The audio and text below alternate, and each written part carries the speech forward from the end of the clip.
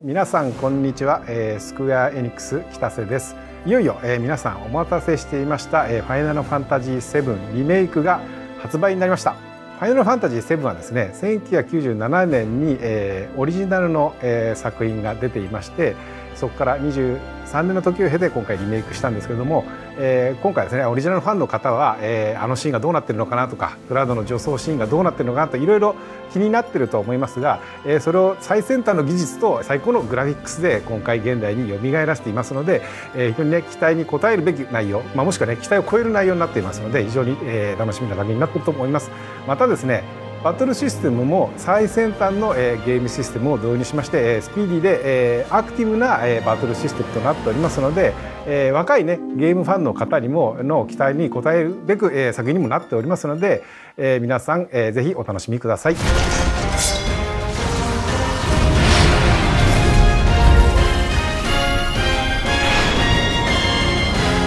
Play Final Fantasy VII Remake first on PlayStation. ミッシ。